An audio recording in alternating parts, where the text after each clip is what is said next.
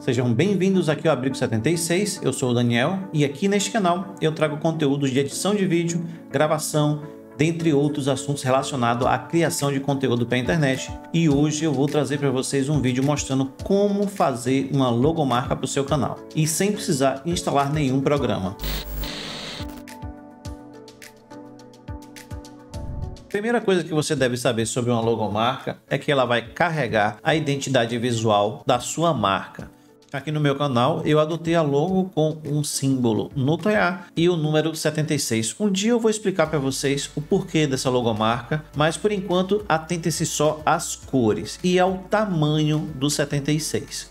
Vejo aqui embaixo que mesmo num tamanho um pouco menor, vocês ainda conseguem enxergar as cores amarelo e preto e conseguem enxergar também o 76.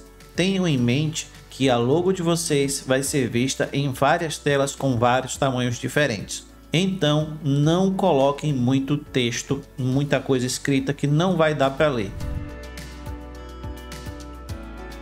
Eu vou mostrar para vocês um site onde nós podemos escolher primeiro a paleta de cores da sua logo. É muito importante que você escolha a paleta de cores e só depois de escolher a paleta de cores você vá direto para a criação dela. Esse site aqui dá ideia de várias paletas de cores e do lado de cada paleta tem o código hexadecimal daquela cor. Eu vou pegar aqui e mostrar para vocês como utiliza aqui esses códigos. Para construir sua logomarca, nós usaremos o site canva.com. Aqui você pode se registrar com o Google, com o Facebook ou por e-mail. Eu já tenho o meu registrado, registrem um de vocês. Eu vou apenas entrar aqui no sistema. E depois de entrar, você vai ter alguns tipos de projetos recomendados. No meu está recomendando o logotipo logo de cara aqui, porque eu já visitei este logotipo no de vocês vai estar tá aqui na segunda ou terceiro clique. Então é só procurar aqui logo, clicar em logo e entrar eu vou dar uma noção básica de todas as ferramentas que você tem aqui dentro do Canva para você poder construir sua logo. No primeiro menu Templates, você pode escolher um modelo como ponto de partida para a sua logomarca. Vamos dizer que você escolha esta daqui. Ao clicar, ela já vem com todos os elementos para cá. Vem com fundo, vem com os textos e vem com as imagens. Basicamente, você vai trabalhar com esse tipo de material aqui. Imagem, formas, e texto e um fundo. Para movimentar é muito simples, é só clicar e mover qualquer coisa. Quando você clica em qualquer uma delas, acende as opções aqui em cima do que você pode fazer com elas e todas as ferramentas são iguais a de qualquer programa, como as ferramentas de texto, ferramenta de cor e ferramenta de imagem. Algumas dessas imagens você consegue trocar as cores e fazer alguns efeitos, não são todas, ok? Se você não gostar deste modelo, você pode trocar por outro No segundo menu, você tem aqui o menu de upload. Esse menu lhe possibilita fazer upload das imagens que você tem no seu computador. Se você tiver qualquer imagem que você queira compor na sua logo, você vai escolher essa imagem no local onde ela estiver, vai clicar na imagem e clicar em abrir. Eu aconselho que vocês trabalhem com PNG com fundo transparente, para que quando vocês tragam essa imagem para dentro do projeto, ela não traga também o fundo. Vamos deletar aqui o outro menu é um menu de fotos. Aqui você pode escolher algumas fotos, inclusive algumas dessas fotos podem compor o fundo da sua logo. Se você clicar, por exemplo, e arrastar aqui, você consegue arrastar e utilizar apenas um pedaço da imagem para poder compor o fundo da sua logo sem nenhum tipo de problema. Vamos dizer que eu queira esta posição aqui, quando eu clicar aqui fora, ela vai assumir o fundo. E se você quiser tirar esse daqui, você pode simplesmente deletar e fazer sua logo a partir de uma imagem. Além disso, temos o menu Elementos. Aqui no menu Elementos, você vai ter os elementos em destaque. Dentro dos elementos em destaque, você pode clicar aqui em ver tudo, ele abre tudo para você e você vai perceber que alguns têm uma coroa escrito Pro e outros são simplesmente grátis. O Pro, como o nome já diz, é para quem paga uma assinatura Pro. Não é o meu caso, então, se você for utilizar isso daqui e quiser utilizar tudo grátis, não tem problema. Tem os destaques, o linha, formas. Uma coisa que você vai precisar usar é forma.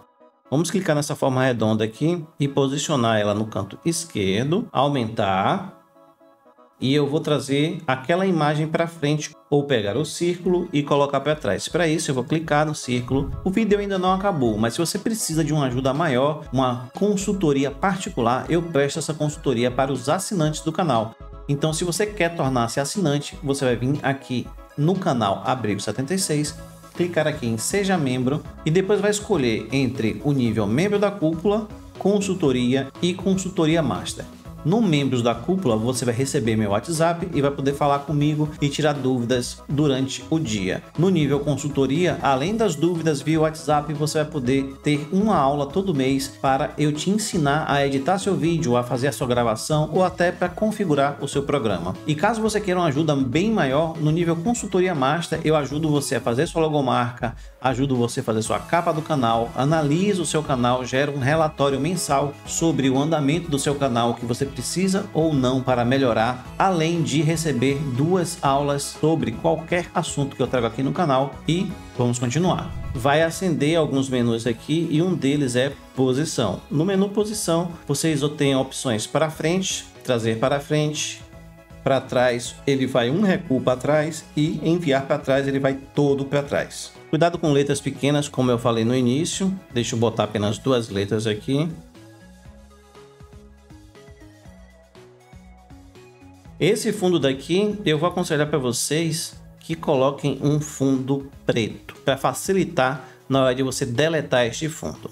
Vamos pegar um quadrado, vamos esquecer aquela foto que eu coloquei só de exemplo. Esse quadrado aqui vai ser preto. E eu vou colocar ele todo para trás, clicando em posição, enviar para trás. Vamos supor que eu tenha terminado minha logo e agora eu queira tirar o fundo. Antes de tirar o fundo, eu vou mostrar para vocês algumas coisas que eu não mostrei dentro do Canva. Depois, se vocês quiserem, eu faço um vídeo detalhado de todos os recursos do Canva. Mas tem aqui texto. É muito intuitivo, é só clicar no texto e o texto vai aparecer aqui. Você altera. Deixa eu deletar. Tem música, mas para esse projeto nós não vamos utilizar. Tem vídeo e tem fundo. Provavelmente vocês utilizem tudo isso aqui e tudo é a mesma coisa, é só clicar e ele já vai aparecer lá no fundo. É muito, muito fácil utilizar o Canva. Agora vamos exportar clicando em baixar. Como eu não utilizei nada pago, ele está deixando baixar aqui totalmente de graça. É só clicar em baixar. Já foi baixado como sh.png, só que o fundo está preto. Vamos nessa ferramenta aqui agora, PixLR. Eu vou deixar esse link aí na descrição para vocês. Vocês vão clicar aqui no primeiro botão Editor Avançado. Percebam que este editor é muito parecido com o Photoshop. Vamos clicar em Abrir Imagem. Vamos apontar para a sh.png e clicar em Abrir. Agora, para tirar o fundo é muito simples. Você vai clicar nesta tesourinha aqui, Recorte e Máscara vai clicar aqui em recorte mágico e depois clicar na cor que você quer que suma. Como eu coloquei preto, foi muito fácil retirar. Se for uma cor muito escura aqui na borda, coloca verde cana ou alguma cor que contraste muito. Agora vamos baixar. Para baixar é só clicar em File, salvar, o nome que você quer, o formato pode ser PNG 500 por 500 e clicar em baixar. Ele baixou com o mesmo nome, SH, só que entre parênteses 1, vamos abrir o arquivo e ele está aqui agora sem fundo. Vamos fechar e agora vamos no canal fazer a troca da logo. Vamos clicar aqui no ícone do meu canal. O seu pode ter apenas a letra do nome do seu canal. Você vai clicar e depois vai vir em YouTube Studio. Quando você acessar o YouTube Studio, você vai vir aqui embaixo em personalizar.